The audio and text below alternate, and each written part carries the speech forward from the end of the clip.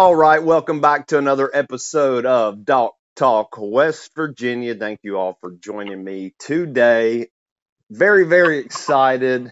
Joining me today, Eric Cormack, winner of the 2019 KBF Southeast Regional at Santee Cooper, South Carolina, that was just this last week in the 23rd of February. Eric, thank you so much for joining me, buddy. Appreciate your time today and, and working us in today. Well, Shane, I appreciate you appreciate you having me.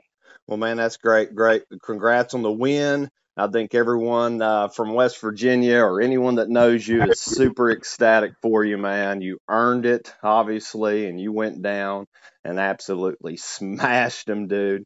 And uh, I, I, don't think there's anybody that uh, isn't excited for you, man, other than the guys you just absolutely dumped down there. Might be a little bittersweet for them, but hey, man, for you, sweet deal, man. Great first win, opening tournament of the season.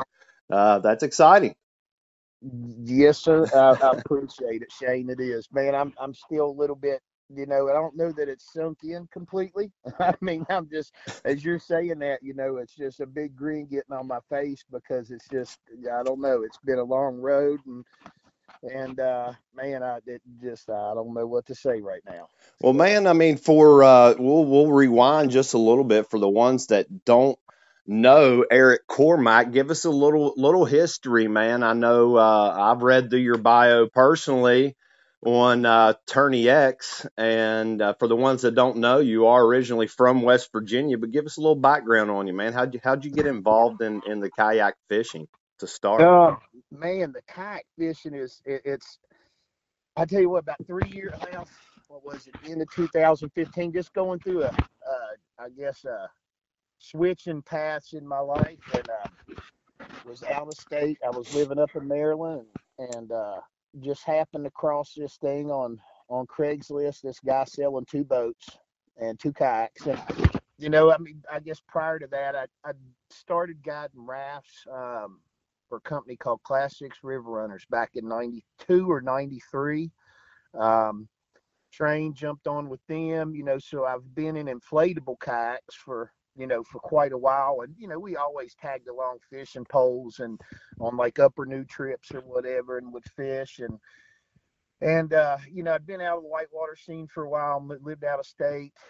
Like I said, my roads or paths had I'd switched a little bit and found two kayaks, the, you know, uh, uh, purchase both and get a little bit of a discount from a fella and I bought both of them and literally I just man, I, I, it just brought back a lot of memories and you know, growing up fishing in the state, I mean, I could do both and something that was rigged for it. And it just sort of helped me get my mind straight um, and focused again at that point in time. And, and I mean, every, I did my first tournament with um, River Bassin, um, Drew Gregory. They had a tournament up there in uh, Pennsylvania on the Susquehanna right. River tournament you know, and rivers being my thing, you know, I mean, it's, uh, and I did that one and I was hooked. I mean, I literally, the, the fish through the winter on the Shenandoah and the Potomac, moved back um, home shortly, um, then went up to Ohio for a while. And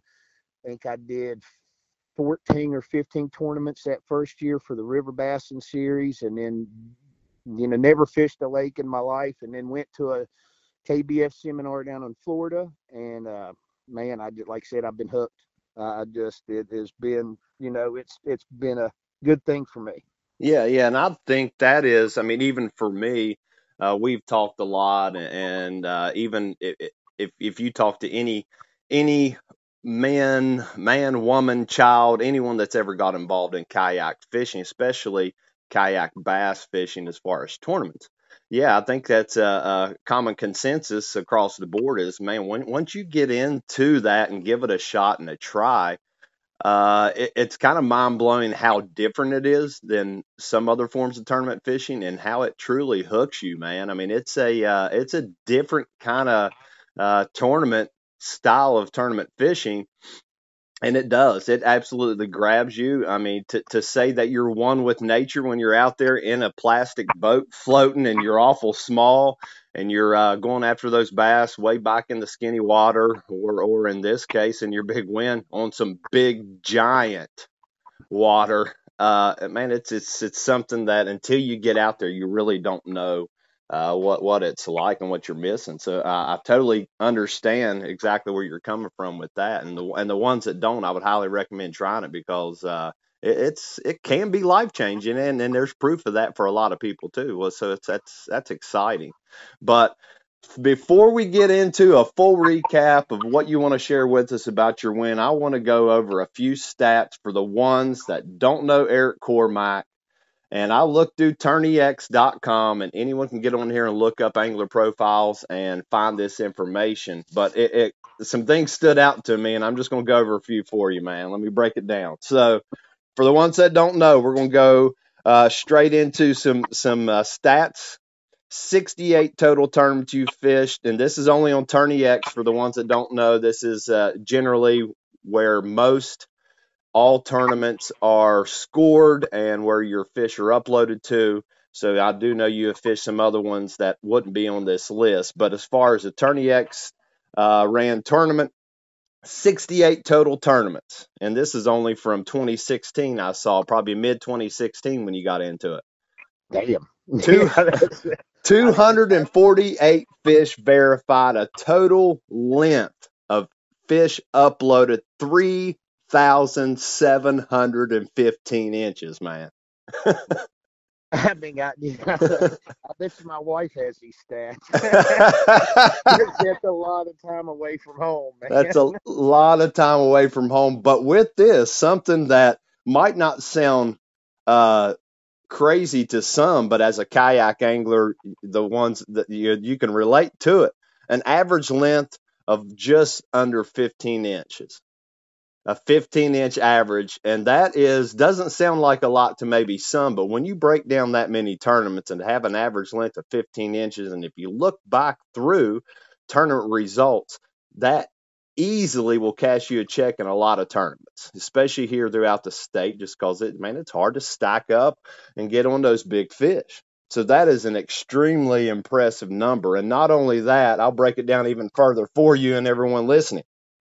How about 16 top 20s, 16 top 10s. In that top 10, seven top fives, two second places, and three first place finishes. Those are some pretty impressive numbers, man, for knowing how far you've traveled. And we're talking, uh, could be national championship in Kentucky Lake, could be up in PA on some smally waters uh, throughout West Virginia. And as you said, and, this doesn't even go into the team stats. You know, it looks like you've had five team events that are actually on Tourney X, and those five team events, four top tens, and one of them is a first place finish out of the out of the ten, and your worst, and that was a twenty first, dude. That's absolutely impressive numbers. I, I gotta say, got hats off to you, man. Oh, I I appreciate it, man. I, I honestly did not realize it. I mean, it's something. Uh, wow. Yeah. I mean, I, I, don't. I, yeah, I've never considered myself like that, or or broke down the numbers. But uh, yeah, I'm just sort of sitting here going, "Damn." Yeah. I, you know, well, that don't sound too bad. Well, here hear it from somebody else's. well, here's an even more impressive number. And for the ones that don't know, and, and, I know you just hit on it just a few minutes ago, you are what I consider a river rat. You know, grew up on the New River, guided, spent a ton of time on the water. You know how to read water. And a little tidbit off topic, but this guy absolutely has shown, you have shown a ton of people, taught a bunch of people how to read water, how to safely navigate rough water. And that, sir, is huge. You constantly give back and help people out. And that is a, that is a big, big thing that, uh, you know, you should be proud of. And I know you are, but New River stats. Here you go. I broke this down a little bit. Eight New River events that I could find on Tourney X, and in those eight events, you had one top 25, two top 20s, four top tens, and out of those top tens, you had three top five finishes and a uh, your one second place finish. And your worst, absolutely worst out of those tournaments was a 42nd place. And if if if the, the people listening don't know, these New River events generally average well over 100 people. Dude these if that doesn't tell you you are an absolute stick on the new river. I can't tell you what will. If that doesn't convince you i don't know what will. Uh, yeah I, that's i love the river. I mean the new river is my home. I've spent a lot of time there. Um again i didn't realize it was it, the stats like well, well and, and, you know that's something we don't really look at you know and i think uh uh, for the true passion of kayak fishing and kayak tournament fishing and tournament fishing in general. You know, we, we do these things because we enjoy them and we love it, or we wouldn't do it. It's it's for all of us competing. It's generally not about the money. Uh, we spend a lot more than what we ever win. But oh, when you do stack up some good numbers and you start cashing a few checks, you know, I mean, that's never a bad thing to, to add into the mix. Not at all. I mean, hell, I want you to print that out and start throwing it out to some. I'll work you up. Good, I'll work you up a resume, man. How about that? that, that, that, sounds great, man. I'm, I'm, really Shane. I just I don't know what to say. I'm just like, holy cow, dude! I never, like I said, I've never broke it down and looked at it. You know, right. I think I, you know, you go at the end of each tournament with these things and go, man, you know, I think I could have done better. I could have done better. What went wrong? What went right? You know, and I, I don't, uh, you know, I look at the past like conditions, and I look at not. I can honestly say never where I placed you know, I, it's in always in the back of my mind, but I'm I'm just sort of like, daggone, man, that's yeah, it, yeah. it sounds damn good on paper, man. hey, and that's what most people are concerned about, how it looks like on paper, right? So that's uh, hey man, it looks good, and not only does it look good on paper, those are stats. You know, th- these are true stats. This is what you're doing out there, and uh, congrats on that, man. I mean, you have uh, just to be doing it such a short time, uh, not you know that's not your only experience. You've been fishing for years. But to, when you really break it down that is impressive. But with that let's go right into santee man. I mean santee I, I, like you said you you're still processing the wind and I know the outpouring and support's been great. Uh, the mm. kayak fishing community is huge, and uh, it's it's it's something that you're not used to seeing when you go up, you win a tournament, and every guy standing around pats you on the back, shakes your hand, congratulates you, and that is what it's all about. But uh, man, give us a give us a breakdown. You headed down to Santee on what uh, Friday, or you got on the water Friday? Yeah, yeah, we left Thursday afternoon. Uh, I, I, introduced a fella um, that that I've been I've known for a long time since high school, anyway, junior high, high school, and fell by the name of Joe Gill. We worked together. I got him into kayak fishing last year. I mean, he shot me a message one day. He's like, "Man, I, have got a couple kayaks, but never spent any time really on them on the river. You know, you want to head out one day and." You know, it's catching up, long lost friend kind of thing, and you know, I got him into it this year. He signed up for KBF and he's going to sign up for all the state, you know, trails. And I sort of got a, a partner with it. And uh, anyway, and, and then uh, Greg Harper jumped on and uh, headed down with us. Um, took uh, Joe's better half and my better half, which is, you know, her first tournament. Um, right. And uh, to tag along. Um, and anyway, yeah, I got down there Thursday evening, got settled into a nice, you know, nice place to stay over there in Pikeville. And Thursday morning headed out, and um, man, it, it Santee. I mean, a little bit of past on it. I love it. I've been this. This was my third, I think, third or fourth time there. Um, first time I, I fished it um, for a KBF tournament. Did fairly well. Again, I was new. I've never fished a lake in you know in a big boat. Never been in a big boat, but never fished a lake until um, the end of 2016 maybe either 15 or 16 i forget. And then uh so that was like one of my first big lake tournaments. And man i caught some nice fish including a big and then i caught a big old blue heron on that trip. Um that's another story but, um, anyway so and and then the next couple times you know i knew where i wanted to be. I fished well there last year um, for the open um, the one that teammate um, Aleph won Yep. And uh, so I knew where I wanted to be. Um, but Friday we wanted to check out some new areas. You know, it was a different time of year. I'd never been there this early, and uh, it had been either late.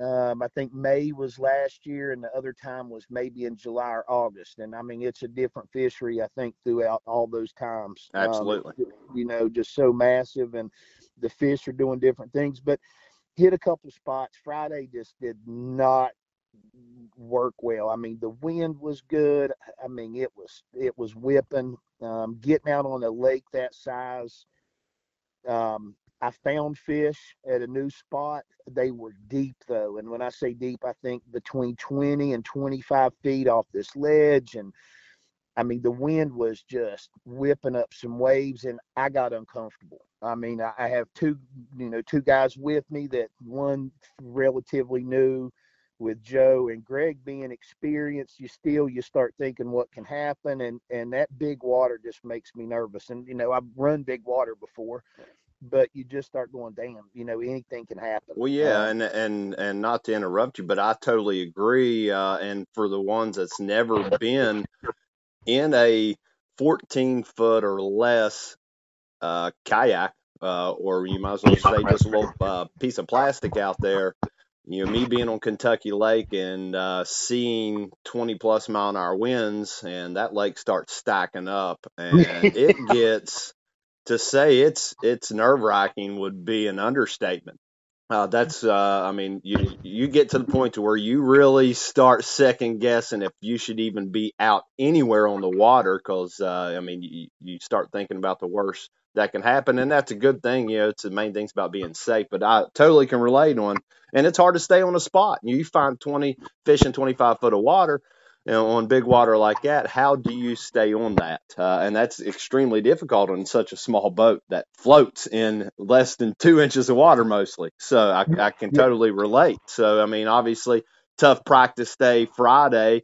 You go back and try to regroup. How how do you mentally prepare when you when you were going into to tournament morning, you had to be a little bit rattled, knowing that you know you didn't find anything super solid on Friday. Oh yeah, I mean it it it was it was like okay, we jumped in, fished another spot, uh, Eutaw Springs. I'd seen a lot of big bass there the year before. Missed three fish, small fish. Um, my buddy Joe he put one in the boat, but there, there's no consistency. You know, Greg didn't didn't even get a bite, and you're just like, damn. You go home that night, and I got to be honest, I didn't even think about it. You know, I, I, knew right off the bat, well, we'll go back to where we where I fished last year. You yeah. know, and and honestly, it with the wife being there, being worn out from the drive, worn out from all day fishing. You know, I haven't had a lot. Well, besides Bienville, I haven't been on the water since, and you know, last fall was a slow fall for me. I think I maybe fished four times, you know, in like four months. And just work got caught up. And I tell you what, having my wife there and we just enjoyed ourselves and enjoyed, you know, being away from the kiddos and all responsibility. I did not even think about it. All I said was, guys, we're going to go to, you know, that spot tomorrow. I know there's fish here. We just got to find them. And man, I tell you, I, like I said, it's first trip she's ever been with me. I slept like a champ. I woke up refreshed. Um, not a neg. I mean, it's probably one of my first times I didn't have a worried thought, and I don't know why, other than you know having somebody there you're comfortable with. I wasn't sleeping in my van on a ramp, you know, crammed up, sitting there stressing about gear or anything else. And uh, woke up, we made the decision. You know, I was like, guys, here we go, and you know, we headed to Spiers. Um, I think it's what's called Spiers Landing. Set off. I told Greg and Joe, here's the deal. Here's where they were last year. I know they're going to be close. This cold front had come in. You know, I knew they had moved up some because of the warm spell we had, but I knew this cold stuff was going to push them back a little bit. And um, man, and then it was just trying to figure them out. And the next four hours or five hours, I absolutely got my butt kicked. I mean, I could not find a fish. I could not get a bite. The wind was still whipping the first two hours. Um, you know, I was, and I very rarely would say this, I was unprepared um, clothing wise. You know, I was expecting warmer temperatures, so I was cold. Um, and then my gear, I just could not, like, I had struggles with my with uh, two of my you know two of my setups, and then all of a sudden, I don't know. I said I'm going to do something different, and I tied on a, a Rapala slash bait and a little four inch slash bait and started working this flat. And literally the first cast I hooked up. And um, with that first cast though, and that hookup, I lost it again because of gear problems, you know, tackle problems, and uh, did some rearranging, switched some stuff. Um, and I was getting that's the point I was getting frustrated and starting to go, holy cow, I'm going to get my butt handed to me, you know. And it's still early, but the things going through your head. Yeah, totally agree, man. Yeah, you when, when you get in that in that position, like you said, some gear failure. I know you and I have talked. Uh, you when you have some malfunctions in gear, uh, and what people don't realize in a kayak, we're not stacking 15 rods where you have some backup. You know, you kind of go in with the you know, minimal amount of gear that you can pack. Uh, every piece of gear adds weight uh, to, to your to your full setup. So uh, what people don't realize, we're not packing 15 rods. You know, a lot of guys, it's five to eight rods. So when you lose a couple, whether it's real real malfunctions or, or some uh, rod breaks or what have you, that throws a huge wrench in the mix. Yeah, yeah. And then Greg pedals up out of nowhere and he had dropped his phone and which that sucked. You know, that just sort of goes, man, we are ha- all it's not just me, it's all of us. So, you know, it sort of goes, man, I mean, this is just not our day. But then on the other hand, you're going, okay, I'm not the only one having problems. Yep. Either sit and let it tear you down and sit and focus on that or figure out what to do to make it right. You know, I knew I finally got a bike, so I knew I put something together, you know, to so it's like okay, so I adjusted, um, you know, but I did decide to move. I made the pedal to move, um, or you know, pedaled out to a different spot. Then I finally hooked up, and I I told those guys in the morning there's a you know deeper channel running through here. It feeds off into these flat and these cypress trees. And even though I told them that, it's something I got frustrated and with being underdressed and you know not being comfortable on the water because I was cold and then having gear problems I'd forgot about. And as soon as I jumped in there, it was like I'm going to hit this row of trees off this channel. Literally the first cast. Um, throwing a stick bait up against some cypress, it hit the bottom. As soon as it did, the line got tight and took off. And then I was like, okay, so I've got two different places I've caught fish close to deeper water. Um, and I'm getting an idea. And as soon as that happened, I literally I fished a couple more trees, had some more gear problems. Finally said, okay, switch these rods around or switch these reels, change my rod up a little bit, mix up my combos to what I need to fish these two presentations, which is a wacky rig and a jerk bait. Once I did that, then I headed over to where I needed to be, where I knew there was these areas lined up and then it was I didn't catch a lot of fish. Um, I missed a couple quality fish. I think I honestly think I could have broke. You know, and Santee this year was my biggest ever single day at 94 and a quarter inches. I really think I could have had a hundred because I lost several quality fish. And um, but once I figured out, okay, this is where they are. This is what they're looking for. I got that pattern. Switched up my combos to something dependable I caught fish, and I, you know, it was just it wasn't a whole bunch, but it was I put four more quality fish in the boat, and that's what your whole goal is is to put five of them in the boat, you know. And I had one, and I just needed those four more, and I think at 209 or 212, something like that, I caught my my last one, which was I think 19 and three quarter. Yeah, and and for the ones that don't realize kind of how that uh, translates, you know, a lot of us are used to you know big boat tournaments where we're talking weight. We're talking this event was a five fish limit, and like you said, it, it, you have to almost change your tactics up if if someone has any experience in in a big boat tournament compared to a kayak tournament, which is measured on length uh, so I mean, we could have the fattest 17 inch bass on the planet weighing in at four pounds, but you're still only got a 17 inch fish sitting there. So, like you said, a limit to to get your limit uh, and get it on the board is is a huge deal. You and I have both seen it. You go out, you got a five fish limit tournament. You you put four big fish on, on the board, even if they're 20 plus inch fish, which is kind of like that. You know, that's that holy grail we all hunt for. You know, those 20 inch fish are, are are the big fish. Uh, and you stack five of those and put yourself over that 100 inch mark. That's you know that that's kind of a big deal. You don't see many guys cross that 100 inch mark. That's the kind of the holy grail, the unicorn of kayak fishing is what I'd like to call it. But with that being said, you put four 20 inchers in the boat, you know, for 80 inches, and you can't feel that fifth fifth fish. Somebody that caught a nice consistent limit's going to going to bust you out of that top spot almost every yeah. time. So that yeah. is an important deal. It is. I mean, just having five, and I can't tell you, four has cost me last year at the Open. You know, I I was sitting pretty first day. Second day, I caught my personal best 21 and a half. My next fish was 20 and either 20 or 20 and three quarter. My third fish was 18 and three quarter. And I, I did, you know, you look and how far was I out of the first, you know, out of winning this thing? I was two 12 inch fish out of winning. Right. And and you know, it's just like, damn, as good as I'm doing, I can't catch two more 12 inch fish. And it, it takes you from first place and ten thousand dollars to 17th place and not a penny in your pocket, man. You know, yeah. you're actually in the hole 600 bucks for you know for the for the week so. Well absolutely and, and like we just said I, uh, the, a limit 100% comes into play.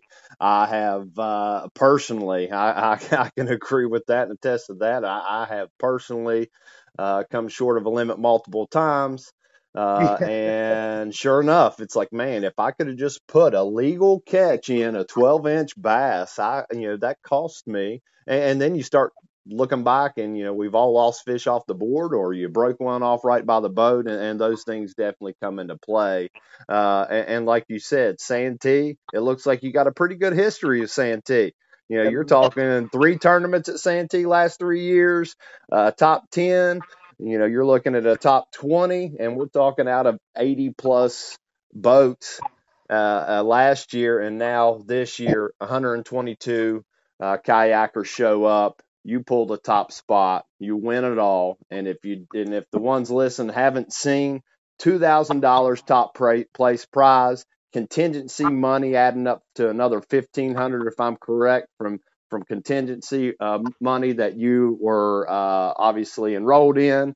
So you earned that as well. That is a, a big payday that was 100% earned. And not only I'm sure that is special to you, uh, but I think you had someone there for the first time that is extremely special to you that made it even sweeter.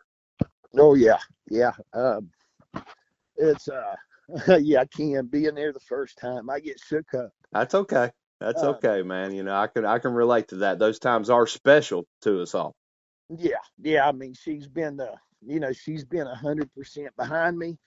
I mean, I've spent way too much money um, to start, way too much time away from my family. Um, you know, I mean, I don't think a lot of people. I mean, obviously the kayaker world and their families are unique because you know a lot of a lot of wives and kids would not tolerate it. You know, right. and I've included the the family in doing these trips and getting them out. You know, we camp a lot. We're going across country this summer for three weeks, and uh, you know, we try to do as much we can together, but I'm still I'm gone a lot. You know, over the past couple years, I've I've spent more time out of state. I think last year between work out of town and or the year before last between work out of town and tournaments, I was home 22 weekends. You know, or or like it was like 20 or 22 weekends all year, and so to have that support and her tolerate it for so long, and then her to be able to be there pretty damn cool. Yeah, that's uh that that makes it even sweeter and and like you said, man, it's a it's a team effort for for everyone involved in tournament fishing. It's time away from the family. Uh but it is what we what we enjoy uh to do. We love to compete. Um and when you get to share that with somebody, someone that close, that uh, that just sweetens the pot even even more. So, uh, uh, you know that that's wonderful, man. You know, yeah, we are man, we are extremely, extremely as as a fellow angler, as a friend. Uh, I can't tell you how, how excited I am for you. I know you you are proud. You should be proud, and you have a ton of people down here uh, back home in West Virginia uh, that obviously was rooting you on, and uh, we are more than ecstatic for you, man, on your win. That's a heck of a way to start the season. I know you got a busy schedule uh, throughout the year uh, as far as tournament fishing. Um, so, so we, we wish you the absolute best of luck for the rest of the year, man. And uh, uh, like I said, we'll be rooting for you, man. Hey, I appreciate it, Shane. Um, I do, man. I, it is going to be busy. It definitely winning this one has changed changed my schedule a little bit. Um, and, and I did not even talk about that part, but it was man. I've been overwhelmed by the support. Um, it's been it's been cool, and I appreciate it.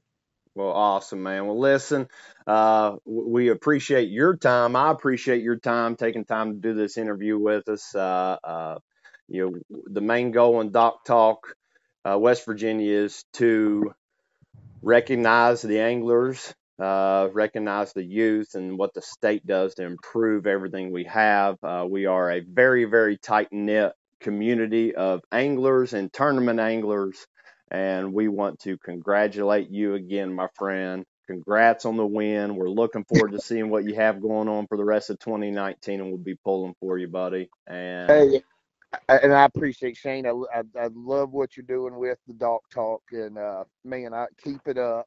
I mean, it's awesome. It's it's the kayaking is a huge, I think, thing uh, that can bring people together. So much negative on social media and the news, and then you know just knowing what's going on in West Virginia with our youth, and I mean not just our youth, but watching families fall apart over so many different things. And and I tell you what, kayaking kayak fishing, being outdoors in the woods, on the water, whatever it is. I mean, it's I, I truly believe it's a key to help a lot of a lot of folks out, not just only in our state, but every place. I mean, Absolutely, man. Out there, and, and the more we get of it, you know, the the more we get people into it, the more we're going to get out of it. And uh, I mean, it's important. I mean, you know, like I said, it it it helped me rafting, helped me but kayak fishing, you know, it definitely kept me from going back down a road that, you know, that I could have easily went on years and years, you know, that I was on years and years ago. It kept me, you know, focused and gave me something else to do. And, and uh, it's huge. It's huge for everybody. It's huge for the businesses. It's huge for the state. It's huge for individuals, and that's the most important part. Absolutely. Get get out in the outdoors. Uh, like Eric says, get out in the outdoors. I promise. If you if you don't already, if you do already, spend more time out there. Uh, put the phones down. Enjoy your family. Enjoy your friends. Enjoy what not only this state has to offer, but but the whole nation. Like you said, you, you've spent a lot of time throughout the country, and we are blessed to have amazing resources to enjoy that are free get out, get involved, enjoy what we have, and that is 100% the main thing. Uh, but thank you to each and every one of you listening today uh, for another episode of Doc Talk West Virginia. Thank you, Eric Cormack. Congratulations again, sir. 2019 KBF Southeast Regional Champion at Santee Cooper, South Carolina. Congrats, buddy. I wish you the best of luck for 2019. Hey man, I appreciate it, Shane. And hey, can I can I give one more shout out? That, Absolutely. You know, everybody knows how important my wife being there was, but uh, Mark and Andrew at Elevation, I, I, at Elevation Sports in Beckley, I owe them a ton. They have helped me out. Um, I couldn't be doing this at all without them, and uh, all my teammates at Elevation and and uh, 412 bait. I appreciate the hell out of it, guys. Well, absolutely, man. It takes a uh, it takes an army, and they've picked a wonderful, wonderful angler in person to represent them and their teams. So uh, with that, absolutely, man, uh, you know that is well, well, well deserved on your part. And like I said, it takes a team, and uh, it's nice when you have some wonderful people behind you. You got it, Shane. Again, thanks, man, and uh, keep doing what you're doing, brother. It's the right thing. Absolutely. Well, I appreciate it, man. All right, everybody out there, y'all take care. Wonderful. All right, Thanks, buddy. Eric, man. That was awesome. I appreciate your time, dude. I'll edit all this up and uh, get this probably posted here just this evening. But man, I appreciate it. I- As always, if you enjoyed this interview and like to see more of Doc Talk West Virginia, please subscribe and hit that like button. Also, hit that bell icon to be notified when a new video drops.